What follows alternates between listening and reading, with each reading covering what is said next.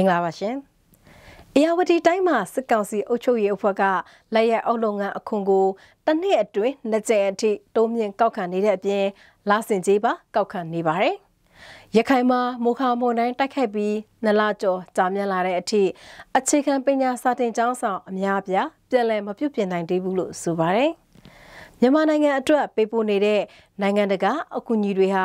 အာဆီယံနဲ့ကုလသမဂ္ဂအဖွဲ့အစည်းတွေကတဆင့်အကူအညီပြန်လည်ပေးပို့ဖို့စစ်ကောင်စီနဲ့ပူးပေါင်းဆောင်ရွက်နေရတဲ့အတွက်လိုအပ်သူတွေစီကိုမရောက်ပဲရှိနေတယ်လို့နိုင်ငံတကာမြန်မာတည် BNI ကအစီရင်ခံစာထုတ်ပြန်လိုက်ပါတယ်။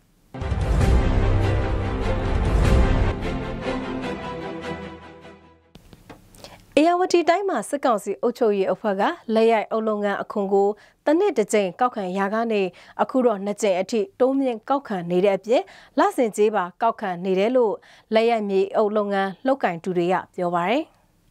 ပတိန်မြို့နယ်မှာဘဲအုပ်ဖို့မဆိုတပြင်းကြီးကျပ်3သိန်းကိုဒုတိယအကြိမ်မြောက်အဖြစ်ဇွန်လအတွင်းမှာထပ်မံအခွန်ပေးဆောင်ရသလိုကန်ကြီးတောင်မြောင်မြအိမ်မဲမအူပင်ဝါခမစတဲ့မြို့နယ်တွေမှာလည်းဒုတိယအကြိမ်အတွက် ကျပ်3သိန်းထပ်မံအခွန်ဆောင်ရတယ်လို့အုပ်ဖို့လုပ်ငန်းရှင်တယောက်ကပြောပါရယ်ဖေဖော်ဝါရီလအတွင်းကအုပ်လုပ်ငန်းလောက်ကန်တူတွေစီကနေအုပ်အလုံးရေတထောင်ခွဲထွက်လိုင်စင်ဖို့ကြီးတဖို့ကိုကျက်၄တိန်းတောင်းပြီးအုပ်အလုံး2000ကနေ9000အတွင်းထွက်တဲ့အုပ်ဖို့တဖို့ကိုကျက်တသိန်းခွဲကောက်ခံခဲ့ပြီးဖြစ်တယ်လို့အုပ်ဖို့လုပ်ငန်းရှင်တွေကပြောပါရယ်ပတိန်မှာတော့လဆင်ကြီးဆိုပြီးတလကို3000ခွဲပေးရတယ်လို့ပတိန်မြို့အမတ်စနစ်ရက်ကွက်ကအုပ်ဖို့လုပ်ငန်းရှင်တယောက်ကပြောပါရယ် လဆင်ကြီးကတော့ရက်ကွက်ရဲ့မိဘေးကောက်ွယ်ရေးနဲ့တခြားဖွံ့ဖြိုးရေးလုပ်ငန်းတွေမှာတုံးဖို့ရန်ပုံငွေကောက်တာလို့ပြောပါရယ်မြို့နယ်စစ်ကောင်စီအဖွဲ့တာမကမြေစည်းရင်းနဲ့စီပင်တာရေးဌာနတွေမှာလည်းအခွန်ဆောင်နေရတဲ့အပြင်စစ်ကောင်စီရဲ့နေမြေစိုးမိုးရေးတပ်ဖွဲ့ရဲတပ်ဖွဲ့မိတက်တပ်ဖွဲ့နဲ့ပြူစောတိအဖွဲ့တွေကလည်းမကြာခဏဆိုသလိုအကြောင်းမျိုးမျိုးပြပြီးငွေတောင်းနေကြတာကြောင့်အုပ်ဖို့လုပ်ငန်းရှင်တွေကအဆင်မပြေဖြစ်နေကြတယ်လို့ပြောပါရယ် ရခိုင်မှာမိုခါမွန်တိုင်းတိုက်ခိုက်ပြီးနလကျော်ကြာမြင့်လာတဲ့အထိအခြေခံပညာစာသင်ကျောင်းဆောင်အများအပြားပြည်လည်မပြုတ်ပြင်နိုင်သေးဘူးလို့ဆိုပါတယ်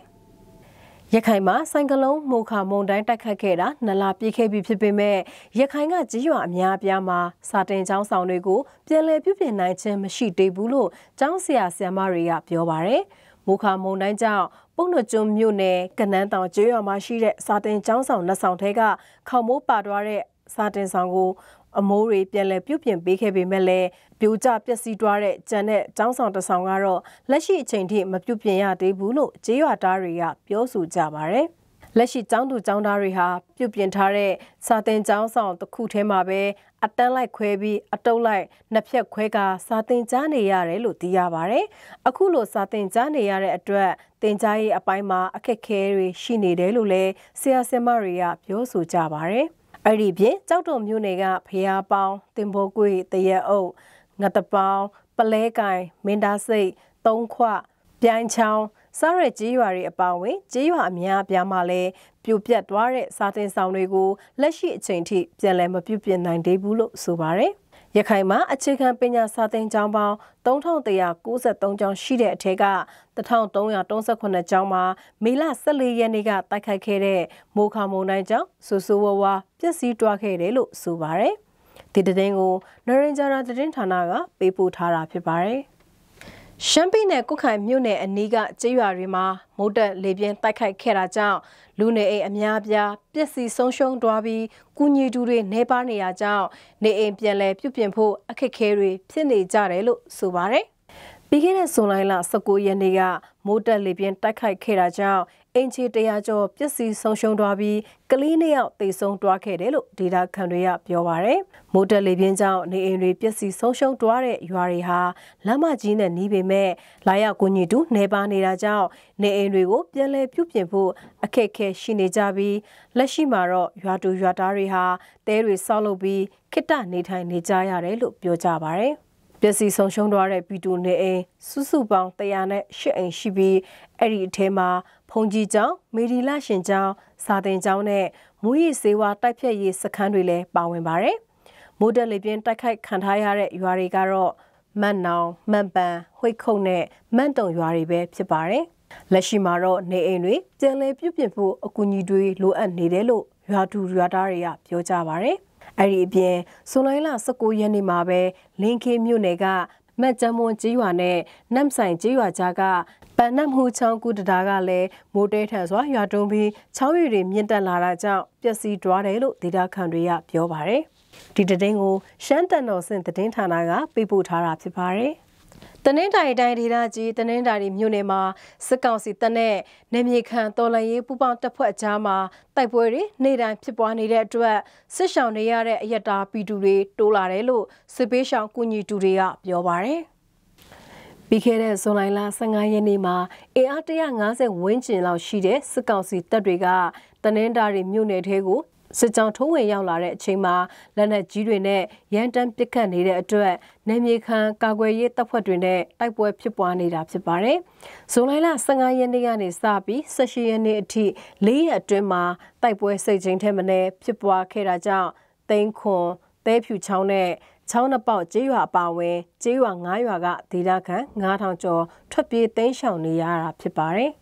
တနင်္သာရီမြို့နယ်မှာပြီးခဲ့တဲ့မက်စလအတွင်းစစ်ပေးရှောင်ဦးရေ4000ကျော်အထိရှိခဲ့ပြီးအခုလအတွင်းမှာတော့စစ်ပေးရှောင်ဦးရေ3000ဝန်းကျင်အထိရှိနေပါတယ်။ဒီတဲ့င်းကိုကရင်တဲ့င်းစင်ကပေးပို့ထားတာဖြစ်ပါတယ်။ကရင်အမျိုးသားစီယုံ KNU တပ်မဟာနဲ့တောင်ကိုခရိုင်မှာဖြစ်ပွားခဲ့တဲ့တိုက်ပွဲကြောင့် ထွက်ပြေးတိမ်းရှောင်နေရတဲ့စစ်ပေးရှောင်တွေအတွက်စားနပ်ရိက္ခာဆေးဝါးနဲ့နေရာထိုင်ခင်းအကူအညီတွေအရေးပေါ်လိုအပ်နေတယ်လို့စစ်ပေးရှောင်တွေကိုကူညီပေးနေတဲ့သူတွေကပြောပါတယ်။ ပြီးခဲ့တဲ့ဇွန်လ17ရက်နေ့ကနေ23ရက်နေ့အထိ KNU တမဟာနဲ့တောင်ငူခရိုင်ရာတူဒေတာအတွင်းမှာဖြစ်ပွားခဲ့တဲ့တိုက်ပွဲတွေကြောင့်ဒေတာခန်2000ကျော်ထွက်ပြေးတိမ်းရှောင်နေရပြီးလက်ရှိမှာစားနပ်ရိက္ခာအပြင်အဖက်ဖက်ကအကူအညီတွေလိုအပ်နေတယ်လို့လက်ရှိစစ်ရေးပရိပခဖြစ်ပွားရာဒေတာက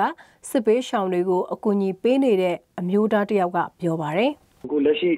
လက်တလောဖြစ်နေတဲ့စစ်ဆောင်တွေပေါ့နော် အဲ့ရကိုလည်းတစ်ချက်ကူညီပေးပါပေါ့နော်ကျွန်တော်တို့စံရိတ်ခါအခက်အခဲဖြစ်မယ်တောထဲတောင်ထဲမှာနေတာဖြစ်တဲ့အတွက်ကျွန်တော်တို့အခုချိန်ဆိုမိုးရသည်ဖြစ်တဲ့အတွက်ခြင်ကြိုက်တာတို့ခြံအောင်တို့ဒီမိုးကာတို့ပေါ့နော်အဲ့လိုမျိုးလေးလက်တလောရေးပေါ်လိုအပ်ချက်အရအကူညီပေးဖို့အတွက်မြစ်တာရက်ခံချင်တာပေါ့နော်တိုက်ပွဲတွေကြောင့်ရတူဒေတာအတွင်းကကလေးထတက်ကုံဝါတော့ခိုဝါဘန်ခိုပရေဆောလိုယာဒို ကပရူစတဲ့ကြေးရွာတွေကဒေတာခန့်2000ကျော်ထွက်ပြေးတိမ်းရှောင်နေရတယ်လို့စစ်ပေးရှောင်တွေကိုအကူအညီပေးနေတဲ့သူတွေကပြောပါရယ်လက်ရှိမှာစစ်ပေးရှောင်တွေဟာတိုက်ပွဲဖြစ်ပွားတာမရှိတဲ့သူတွေနဲ့နှိစက်ရဆွေမျိုးတွေစီမှာတွားရောက်ခိုးလုံနေကြရသူတွေလည်းရှိသလိုတချို့ကတော့တောတောင်တွေထဲမှာထွက်ပြေးတိမ်းရှောင်နေကြရပြီးစားနပ်ရိက္ခာအပြင်နေထိုင်ဖို့နေရာထိုင်ခင်းအတွက်အမိုးအကာစေဝါတို့အရေးပေါ်လိုအပ်နေတယ်လို့ဆိုပါတယ်။ ဒါအပြင်တခြားတစ်ဖက်မှာလည်းစစ်ကောင်စီတပ်ကရိတ်ခါတည်ယူပို့ဆောင်နေတဲ့လမ်းကြောင်းတွေကိုပိတ်ထားတဲ့အတွက်စစ်ပေးရှောင်တွေအတွက်ရိတ်ခါရရှိရေးမှာလည်းအခက်အခဲများစွာရှိနေတယ်လို့စစ်ပေးရှောင်တွေကိုအကူအညီပေးနေတဲ့အမျိုးသားကဆက်ပြောပါတယ်။စစ်ပေးရှောင်ကတော့ဒီအနေထားနဲ့ဆိုရင်တော့စစ်ပေးရှောင်ပို့ပြီးတော့တိုးလာမယ်။နောက်ပြီးစားနပ်ရိက္ခာတွေပို့ပြီးတော့ကြက်တဲလာမယ်ပေါ့။ဘာကြောင့်လဲဆိုတော့ဒီလမ်းကြီးကပိတ်ဆို့ထားတာကိုတောင်ငူ တောင်ငူလိတ်တူဒီလိုက်ကော်လမ်းပေါ့နော်အဲ့လိုက်ကော်လမ်းပေါ်မှာရှိနေတဲ့ဒီယာတူပေါ့နော်အဲ့ယာတူကလက်တလုံးမှာပိတ်ဆို့ထားတော့ရိတ်ခါပိုင်းဆိုင်ရာပိတ်ဆို့ထားတော့စစ်ဆောင်နေနဲ့တော်တော်လေးအခက်ခဲဒီတဲ့ပို့ပြီးတော့ဖြစ်လာမယ်လို့တော့ဟိုထင်ပါတယ်ခင်ဗျစစ်အာဏာသိမ်းပြီးတဲ့နောက်စစ်ကောင်စီတပ်ကတိုင်းရင်းသားလက်နက်ကိုင်အဖွဲ့တွေနဲ့တိုက်ပွဲတွေဖြစ်ပွားနေတဲ့အပြင်အမျိုးသားညီညွတ်ရေးအစိုးရအန်ယူဂျီကဖွဲ့စည်းထားတဲ့ပြည်သူ့ကာကွယ်ရေးတပ် PDF တွေနဲ့လည်းတိုက်ပွဲတွေဖြစ်ပွားလာခဲ့ပါတယ်။ ဒီလိုအခြေအနေတွေကြောင့်ပီတူတွေဟာစစ်ရေးပြိပခဖြစ်ပွားရာဒေသတွေကနေတနေရာပြီးတနေရာဘေးလို့ရာကိုထွက်ပြေးတိမ်းရှောင်နေကြရပြီးနေထိုင်စားတောက်ရေးအပြင်အဖက်ဖက်မှာလည်းအခက်အခဲတွေနဲ့ရင်ဆိုင်နေကြရပါတယ်။နိုင်ငံတကာအစိုးရတွေကနေတစစ်မြန်မာနိုင်ငံကိုပေးလာတဲ့လူသားချင်းစာနာမှုကူညီရေးဆိုင်ရာကိစ္စရပ်တွေကိုစီမံခန့်ခွဲပေးနေတဲ့အာဆီယံအပါအဝင်ကုလသမဂ္ဂလက်အောက်ခံအဖွဲ့အစည်းတွေအနေနဲ့ အာဏာသိမ်းမှုနောက်ပိုင်းစစ်ကောင်စီနဲ့ပူးပေါင်းလှုပ်ဆောင်ရတာတွေကြောင့်စစ်ပေးရှောင်တွေစီထိရောက်တဲ့အကူအညီတွေမရောက်ဘူးလို့ BNI ကထောက်ပြလိုက်ပါတယ်။တည်င်းအပြည့်စုံကိုစိုးဝေးကတင်ဆက်ပေးထားပါတယ်။မြန်မာနိုင်ငံကိုလူသားချင်းစာနာမှုအကူအညီပေးနေတဲ့နည်းလမ်းတွေပေါ်နိုင်ငံတကာအနေနဲ့ပြည်လည်သုံးသပ်နိုင်ဖို့သူဒေသနာစာတန်းတစ်စောင်ကိုဇူလိုင်လတတိယပတ်မှာ နိုင်ငံတကာမြန်မာသတင်းအဖွဲ့ BNI ကအွန်လိုင်းကနေမိတ်ဆက်ခဲ့ပါတယ်။နိုင်ငံတကာလူရှင်ဆိုရများအတွက်ပု္ပ္ပာလူသားချင်းစာနာကူညီရေးအကြက်တဲအားအပြေရှားကြည့်ခြင်းဆိုတဲ့သူဒေသနာစာတန်းကို BNI ရဲ့မြန်မာညီချင်းရေးလမ်းစဉ်စောင့်ကြည့်ရေး program MPA ကသူဒေသနာပြုလေ့လာပြီးမိတ်ဆက်ခဲ့ပါတယ်။နိုင်ငံတကာကအကူအညီတွေဟာလူထုစီကိုမရောက်ဘူးလို့ BNI ရဲ့မီဒီယာဖွံ့ဖြိုးရေးကော်မတီဥက္ကဋ္ဌဦးစိုးမြင့်ကအဲ့ဒီနေ့မှာပြောဆိုလိုက်ပါတယ်အာနာသိန်းစစ်အုပ်စုရဲ့ခွင့်ပြုချက်တစုံတရာမရဘဲနဲ့ ဘယ်အကူအညီမှပြည်သူတယောက်တယောက်ထံထောက်ပံ့နိုင်ခြင်းမရှိတဲ့ခက်ခဲကြက်တဲတဲ့အခြေအနေတွေတွေ့နေရပါတယ်။ဒါတွေကိုနိုင်ငံတကာကုလသမဂ္ဂအပါအဝင်ပေါ့နော်နိုင်ငံတကာအဖွဲ့အစည်းတွေအားလုံးနဲ့ရှာဖွေကြံစသင့်ပြီလို့အဲယူဆပါတယ်။ UNOCHA ကနေထုတ်ပြန်ထားတဲ့လူသားချင်းစာနာမှုဆိုင်ရာတုံ့ပြန်ခြင်းအစီအစဉ်မှာ2022ခုနှစ်နှစ်ကုန်အစီရင်ခံစာအရ မြန်မာနိုင်ငံမှာလူသားချင်းစာနာမှုဆိုင်ရာအကူအညီလိုအပ်သူပေါင်း14.4တန်းရှိခဲ့ပေမဲ့ပြည်သူ4.361တန်းကိုပဲကူညီနိုင်ခဲ့တယ်လို့ BNI ကထောက်ပြထားပါတယ်။အဲ့ဒီထဲမှာ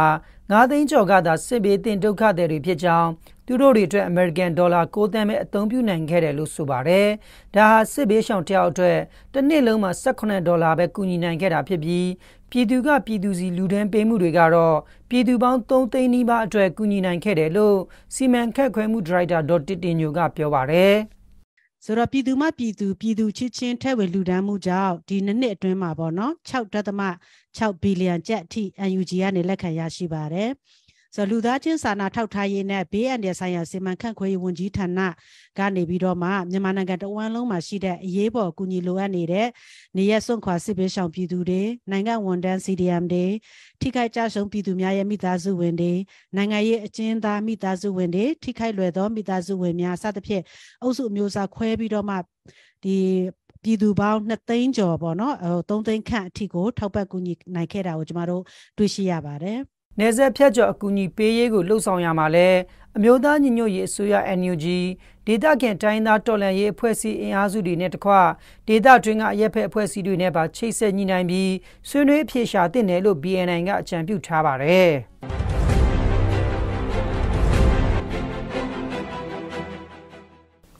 အစစ်စင်ကိုကြည့်ရှုအားပေးနေတဲ့မိဘပြည်သူအပေါင်းရှင်လန်းချမ်းမြေကြပါစေရှင်။ နောက်တစ်ပတ်ဒီလိုချိန်မှာစောင့်မျှော်ကြည့်ရှုကြဖို့တိုက်တွန်းရင်ဒီတစ်ပတ်စစ်စင်ကိုရန်နာခွင့်ပြုပါရှင်။